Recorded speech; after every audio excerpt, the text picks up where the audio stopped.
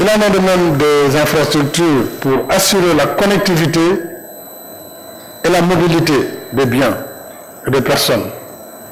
Là aussi, notre pays va connaître dans les prochains mois un développement très moderne du transport urbain avec le démarrage du TR, qui a fait couler beaucoup d'encre sous le, sous le pont, comme on dit, mais il va démarrer bientôt, Inch'Allah, en 2021.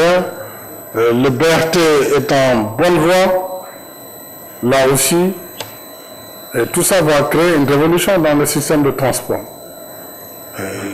Donc il faut continuer là aussi à réduire le caractère informel du transport interurbain, arrêter ces cars qui datent des années 50, 60.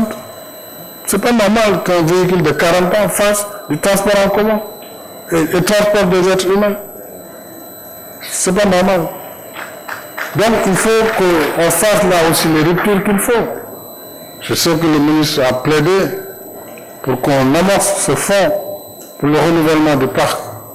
Il faut le faire et il faut vraiment moderniser le parc de véhicules, surtout pour le